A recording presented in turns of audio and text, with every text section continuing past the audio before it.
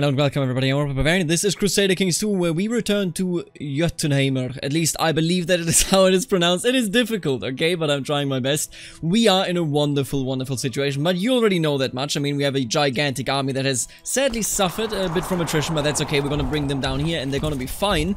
Uh, and we have, of course, actually achieved Never Start a Land War in Asia and in record speed. May I just add that the fact that I was able to go from feudal here in Tibet, you know, to actual nomads sped up the game quite significantly. This means that we can now move on. I'm much more free in any decision that I make because now I no longer actually have to try to get this achievement before the Mongols come, meaning I would not uh, be able to get it at all. And I'm very happy about that progress. I'm in fact so happy that let's just take a moment here and check out what has happened in the world. So, we started, of course, over here in Retz, and we have left a mark, although not really intentionally. As you can see right here, the Normans are everywhere. The Bretons are barely still existing. The Normans also took this over here. So, yeah, the Normans are everywhere. Man, what is this? How did any of this happen? But either way, I'm very happy about it because it means that we can also get the Conqueror achievement whenever we conquer England as, you know, a Norman English Catholic character, or any Christian religion for that matter. Then we went down here, Sardinia. We did create a republic down here that then moved up here and got promptly deleted. But over here, the Norse people have held for quite some time. There's even a couple still left. You can see that I think our house is... Oh no, our house from over here is now gone. Yeah, no, oh, there he is, Sheikh Zaud of Ascalon. He is Sunni and he lives. Good for you. Good for you indeed. We took that over and then we started moving over to Socotra. Socotra, which at some point was practically half of Abyssinia, but is no longer. And as you can see, they are still going on. They're still going strong, and most importantly, they are dominating the trade. I can only uh, guess that they're making mad money. Honestly, they're making very little money, man. That is disappointing. Beyond that, we moved, of course, into Persia. We created the Reformed Zunist faith that views us, you know, that views our family as a part of the godly families of the Germanic mythology, so to speak.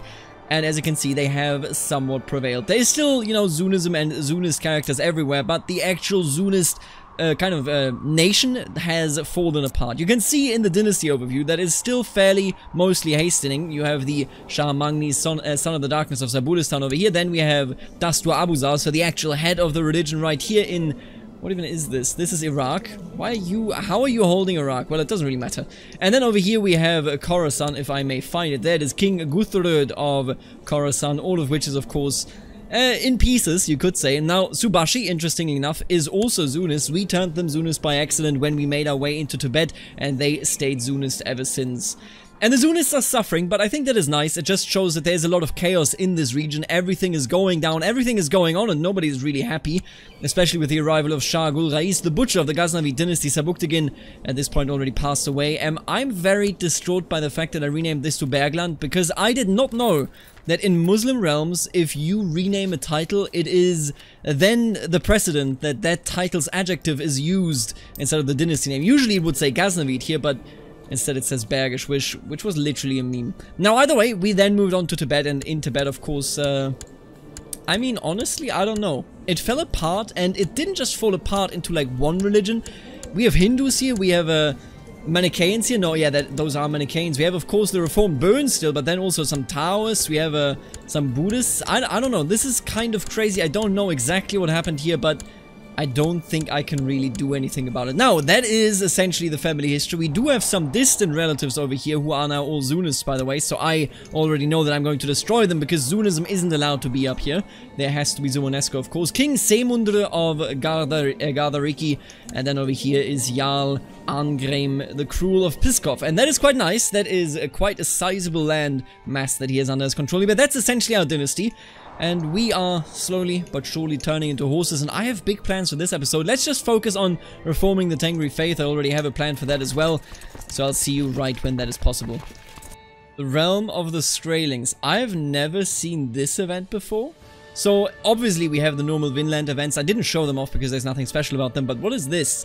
The realm of the Skraelings. Grave news from beyond the Western Sea. The explorer Thorfinn Karlsefni sailed towards Vinland with three full longships, intending to establish a permanent settlement in the New World. Sadly, while sailing further south along the coast of Vinland, they came upon a large party of heavily armed Skraeling warriors. The Skraelings butchered the Norsemen and captured two of the three longships. Thorfinn himself was apparently sacrificed to the vengeful guards, but a few of his men were released so that they could bring warning back to Greenland. According to the survivors, the Skraelings then sailed the captured uh, ships south towards the cities of the great realm, where our shipbuilding techniques will be studied by their learned men. I fear we have awoke, uh, awoken something dark. Oh no. Is this like... Is this just flavor, or did we just awake like the Mega Aztecs or something? I assume Skraeling is essentially just our name for the Aztecs, but my god, now I'm spooked. And look at that. Just like that, we can now all of a sudden reform the religion. Now, I thought about it, uh, you know, I thought about what we should do here quite a bit. And judging by the fact that our character is insane, that his father is insane, and that we are all literal horses, I'm going to go and I'm going to pick bloodthirsty Gods. I think that is excellent. I think that makes a lot of sense. You know, if not now, then probably for no other religion that we are reforming in this playthrough. And beyond that, I also thought about this one. I really want to go with Autocephalous here because that at least makes it so that every nomad realm is, you know, strong in their own right. But, and this is one of the big things in my opinion when it comes to playing nomads, if we go with hero uh, Hierocratic, or if we give them, you know, a temporal leader, which by the way would bug out my succession as it always does, we would run into the trouble of having nomads that are simply way too strong. And that, of course, would ruin the map with about 400 years more to go. We're not going to do that. We're going to go Warmongering, we're going to go Eternal Riders, Bloodthirsty Gods, and Autocephalous. And here we go. When you look at that. The Sky Temple. Autocephalous, Tengrikut, Yakut, I suppose, is the biggest guy. He's our vassal, that is all fine. And Dandy, is Turkish, interesting. And not Norse, which was what I expected. But it's okay, the Tengri Reformation. The ancient Tengri religion is proving unable to withstand the onslaught of the cross and the moon, rather than abandoning the old ways. Kagan Grimr of Jötun... Uh, I can't even pronounce it. And you know what? I need to rename it anyway. Um, we're gonna rename this Jötunheimar. Heimer. Jötunheimer, I think uh, Kagan Grimner of Jotunheimr, and the most powerful priests have decided to reform the Tengri faith in order to turn the tides and lead their soul against the new religions. Reorganized as an autocephalous hierarchy of loosely connected high priests, the Tengri faith has been entirely reinvigorated, forsaking its shamanistic roots and acquiring an official dogma fit to oppose its rivals. This event could mark the beginning of a new era of pagan revivalism all throughout Europe and spell doom for the Abrahamic usurpers. Okay, what we're gonna do here is essentially, I'm gonna click this button quite a bit, so I'll see you afterwards.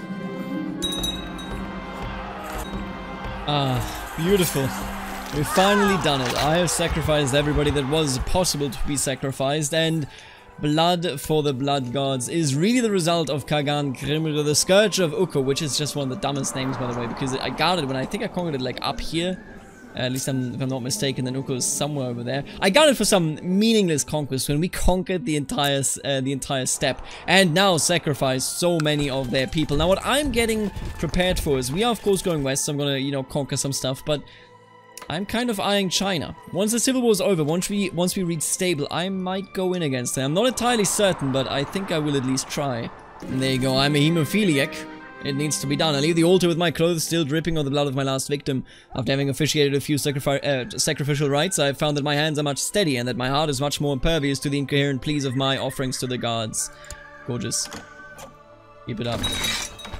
Great holy war for Volga, Bulgaria. Excuse me? Uh, you know... I mean, sure. You know what, I'll, I'll support that. I think I can uh, be good help in this and I think I can win this war in the name of uh, Tengri, of course. Let's do it. Volga, Bulgaria shall be ours. And now we've become a Hemophant.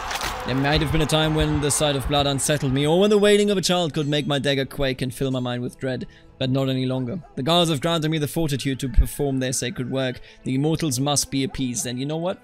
The immortals shall be appeased, because I'm pretty sure that if I go on and immediately sacrifice someone more, that we can even rank up yet again. The crowd be uh, below me cheers as the head of my last sacrifice rolls down the steps of the temple. I feel the heart in the sacred brazier, a brazier watching it hiss and burn and singing praises to the gods. The gods demand more blood, indeed they do. This man has filled rivers with the blood of his victims and built mountains out of their skulls in his psychotic desire to please the cruel gods he worships. That sounds about right. That sounds about right for the characters that we are playing here. Here we go, a Harbinger of the Blood Gods. Tengri priests are notorious throughout the world for their sanguinary pra uh, practices. The many sacrifices performed in the name of our gods or are an imperative necessity, a grim responsibility that every pious man must take part in if we wish to avoid the terrible wrath of our immortal masters. Yet few can deny that my accomplishments in sating the gods' eternal thirst tower above those of all of my colleagues. Through my faith and dedication I have cleansed the eternity of Jotunheimar in a sea of blood, forging a sacred leg a legacy that will not soon be forgotten. And there you go, sacrificing prisoners yields an additional prestige reward. It's a pretty mediocre bloodline, but I think this fits. We've brought chaos and destruction to the world. And look at that, I actually got the solar crown back by inheritance there. We got quite lucky for it, I think. Dreaded. Kagan Grimre uh, dedicated his life to build an empire of blood and skulls in honor of his fickle and cruel gods. Gorgeous. We did it. Not the best bloodline, but I love the story behind it. That is really all that matters to me, I think. Look at that. Here we go. God, these borders are horrible, but we did win. We did win the war, and Kagan Grimre, the Dreaded, is a much better name, which is why I'm actually very, very happy about the bloodline that we got here. I don't know if this locks us out of anything, but if it does, then so be it. At the end of the day, you know, that is just how it goes. But look at that. Successful Great Holy War. I alone I alone did this, believe you me. Now, the borders are hideous, but of course, I want to go towards Suomenusko lands because we need to stop the Zunists over here that are of our blood. And uh, we can only really do that if we are close to them, can't we? So, what we're going to do is we're just going to start walking. And we start walking, I mean, we're going to start knocking them down wherever we go. Because we need to connect these lands so that I can make, uh, you know, at least for a fairly decent borders. They're not going to be beautiful, but they don't need to be hideous, as they are, of course, right now. So, you know what I'm thinking? I would really like it if I could take control of this and make this our new territory. I would actually really love that, I think. Oh, I don't have an invasion. I have a flower war, of course, but I don't think that we have an invasion. Eh, sorry, I meant uh, subjugation. So in that case, I can't even really do that. I guess we gotta wait for the uh, invasion becoming valid again. And I think that's fine. We can spend some time in the steppes here. We are, of course, incredibly strong. So I don't think really anyone minds. And would you look at that? Now, it's not beautiful, but we have a connection, so even if I were to die right now, this land wouldn't become independent. Khazar, what did you do? Oh my god, Khazaria. Not like this. You can't, you can't do this, Khazaria. This is not, this is not right. It's just not right. Um, I, okay, I think we're gonna stay over here in the east for, for a while, maybe like two decades or something. I just wanna remain over here while uh, Khazaria will then hopefully lose, you know, control of this stuff, because if they don't, then we have a, we're gonna be in trouble. I mean, you know, getting over there will be quite a bit harder, but we'll see. Now, we are already 45 years old. We, are, we won't live forever. Um, my heir is my brother Sigtrix, seeing as I, of course, you know, uh, I may have uh, no balls, but Sigtrix has a couple of children, and those children will then hopefully actually finally lead me into horse territory. Summarily, the Sigdrixon will be in a position where he will be marrying all of the horses that have been born right here, and then hopefully that will finally and permanently bring us into horse territory. But, with all that being said, Let's get another achievement here. Ask, uh, let's worship the ancestors, let's ask them for a long and healthy life, and then let's sacrifice our leg, because we already sacrificed a hand, we sacrificed an eye, and this should give me an achievement. Let's check it out. Boom, there you go, scarred for life. We did it. Man, I'm getting closer and closer. I think we're like, what, 13 achievements away now from 100%ing this game. And we're going to get at least one, uh, two more with this run alone, so I'm very, very hopeful that we can finish this off in a good time. Oh man. God damn it, they're being invaded by the Jurchens again. Listen, I think it's actually good. I'm gonna hang out here for a while in the steppes. I really want to try and invade China. If it doesn't work out, then so be it. But I'm gonna give it another two decades maybe. What is, you know, of course a bit good about this is also that the landscape can change without me having to get involved. I don't always need to be around. I don't always need to change things. And I think that is more than fair to essentially, you know, wait until we maybe, uh, can actually move on. But I do want to try and test my mettle against China. I think we can do it. Honestly, I'm going to build up probably to about 40k, but I think we can do it already with 30k. You just got to be smart about uh, being a tactician. So, if the Jurchens may please stop this, I would very much be thankful for it. I don't want to raid you. Can I give you horses? Does this do anything for me? That's the main question here for me. Um, it doesn't no, okay, so my question was, does this maybe change the status of China for the better? But it does not appear so, so don't worry too much about it. Well, I mean, at the very least, China is now merely in the unrest phase. Uh, phase. I think they already have another dynasty. Listen, all I'm waiting for is for China to become stable, and then we will immediately attack, and then we can move on. Uh, as I said, I think it's good that we're getting some time out of the way just sitting around, but this is, uh, in my opinion, a bit of a filler episode, because we're not doing much except, you know, hanging around, really. Oh no, and since I'm a leper, I'm now wearing a mask. I'm disfigured Kagan Grimr the Dreaded. He is feared, he is afraid of life, and honestly he's had a pretty terrible life, which probably explains why he has been so incredibly cruel. Now, China, come on, be ready for me. I'm ready, and I'm dead as you can see. But we have become uh, the wonderful, the great, and people usurp titles. God, look at these Kagans being like, I'm ready to rebel. No, you're not ready. You are not ready by any stretch of the imagination to rebel against me, my friend. Alright, let's declare some wars here. Let's, uh, you know, reabsorb these clans, I suppose. I need to create some more clans as well. I can't believe all of these nerds declared independence. That is unbelievable to me. Now, sadly, the result of this is that well, you can see it for yourself. The Church of Zun is everywhere now because Kagan Somalithi was Zunist the entire time. And I sadly couldn't stop him from being Zunist primarily because, well, you know, you can't convert people, you can't force convert people. And if I were to go back to Tengri right now, which of course I could do, I fear I would be losing all of these secondary wives and I require those secondary wives. So no, I'm not going to do this. Now, who are we? We are a stressed out, diligent, shy, shrewd, and strong man that is also a Grey Eminence. And that will hopefully be able to uh, persuade his wives here to, you know, get some horse children. That would be absolutely gorgeous. Make me a horse. And then we can move towards the west. Yeah, as I said, sadly we're going to see a lot of people here that are now Zunist. Tengriism is reformed, but also gone. Um, I might have just accidentally completely destroyed it because my family is so multi-religious uh, religious that we are looking at a situation where whoever were to stand to inherit, none of them were Tengri because I only became Tengri, of course, after I became Nomad, so none of my family actually were, you know, already Tengri to begin with. It's a bit of a shame, but honestly, I'll accept it. Uh, Tengri does count as reformed, and Zunism, I suppose, is more in line with our family either way. Well, here we are. You know, in hindsight, it really does seem like Tengrism was just a weird madness that fell upon, our, I believe, our uncle? I want to say our uncle, yeah.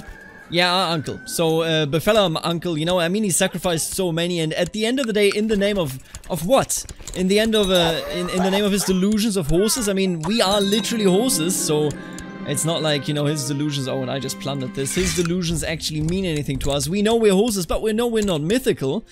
Um, at least not in the way that the Yotun, uh, Yotun, I, I, still can't pronounce it, I'll be honest with you, uh, are related to us here. So we have just retaken it all, and as I said, I will be dedicated in my wait for China to finally become stable again, because I think I can beat them, and only afterwards will I move on, will I move over to the Khazars. Much like they deserve it. He's 66, I think he's gonna die sooner than all of this should splinter if they have the guts to become independent, which they should, but we're gonna see about it. Let's go! We've actually done it. Suktriq Sumalithison is born zero years old. We are going to be a horse. Now, he doesn't have horse culture, but I can quickly give that to him whenever we really feel like it, because, look at her, cartoon Sharp Ears of Jotunheimer is a horse, meaning that we will have an education that, you know, allows us to become horses as well on culture, and I am absolutely in love with it. My god, this is the dream, we've actually done it. Glitterhoof and everybody else, thank you so much. And oh my god, I actually cannot believe it. The crusade for Byzantium has been called. See, now I'm curious. Now I am genuinely curious. I don't think I could join the crusade even if I wanted to. There's an achievement in which you have to win a crusade against Byzantium, but would you look at that? I actually regret nothing. Had I gone fur had I gone west immediately, we could already, you know, have reformed maybe Romuva even, maybe Suomenusko, but we probably would have reformed something. Now instead we get the crusade for Byzantium. So, you know what? I say let the AI do what the AI wants to do because it is outstandingly amazing just how aggressive the AI appears to be yeah, you know, being Christian, being Catholic here could potentially be quite neat. Let me just uh, check something out. We don't actually have the piety. I can't even try it, technically speaking. Let me marry this lady. I could, of course, theoretically convert... Oh, it just cost me prestige. Oh, that's really easy then. Alright, let's just quickly go with this, and that, of course, takes away uh, the actual marriages here. They become concubines instead. That's okay. Let me check something. Could I theoretically, if I really wanted to, right? I could totally join the Pope. Oh, you know what? Am I gonna do it? I think I'm gonna do it. Oh, I'm gonna do it. Ah, oh, you know I'm gonna do it, man. Okay. This this will take some time and probably won't be helpful, but I'm gonna do my best to join this crusade for Byzantium. Let me in, please. Join. And this is, is this cheesy? Oh, absolutely, but I need the, I need the achievement. Let me try to actually get the achievement. I don't know whether we will be able to get it. I am Catholic, I can still have these, and we already have a son, so everything is perfect. Um, I just need to get this done. My god, if this is possible, that would be amazing. Oh my god, and look at that. Yeah, I think I just need to move on. What do you think? Let me know in the comments, because they're in a civil war again. We can skip some more time being nomads, but China appears to have more troubles than uh, they are worth here. They will never leave the state of civil war, I feel. And of course that sucks, but I mean, what are we to do, eh? You know, when I created this army of horses, I was convinced that we would be using it to destroy China. And instead, we are going to destroy the East Roman Empire. Uh, why aren't we fighting? Hello? I would like to fight you. Excuse me? We're not fighting? I can't, I can't, there we go. I can't help but notice that we were indeed not fighting. And now we are, I'm a crusader. Am I getting... Yes, look at this. Oh, beautiful. I think Byzantium could have probably defended itself if not for me. And if that isn't absolutely gorgeous, then I don't know what is. Now I'm thinking, you know what? Who will be my crusade beneficiary? Nobody! Right, nobody's actually eligible. Ah, and I can't even convert any of them. Oh, this is such a shame. Literally nobody is eligible. Um, I can't make any of them Catholic. That is a huge, huge problem. I, I guess I'll let the Pope decide?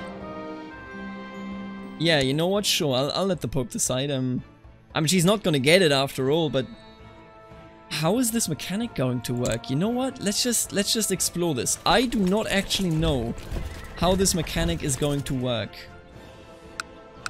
And what do you look at that? Constantinople has fallen to the horse armies. The Norse horse armies have come for Constantinople and have destroyed it.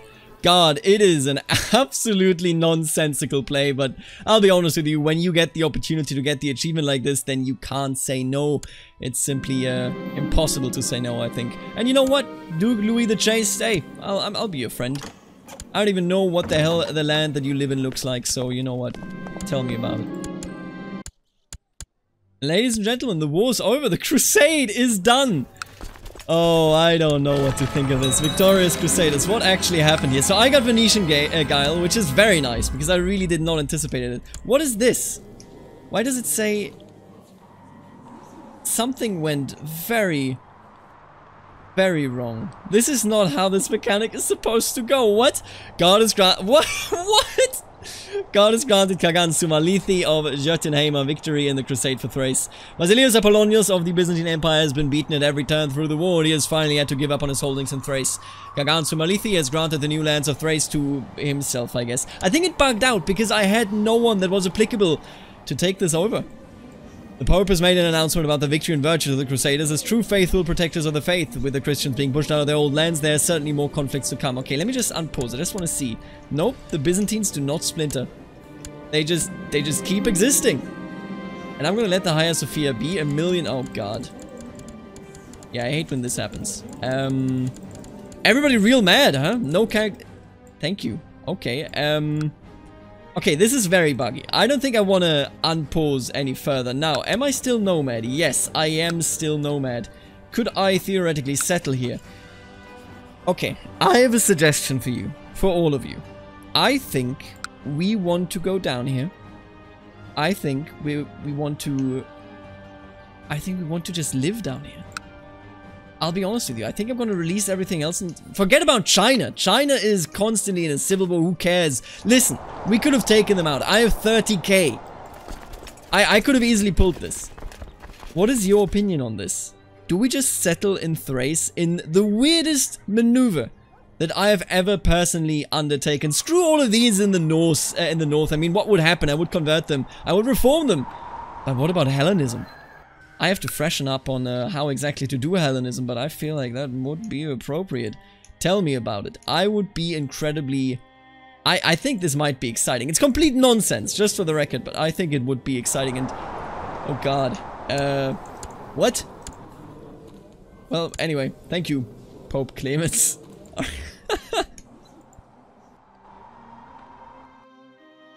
Now, if you don't know what to make of this episode, then we are in the same boat, and I hope, I hope that we can solve this crisis uh, in the next episode.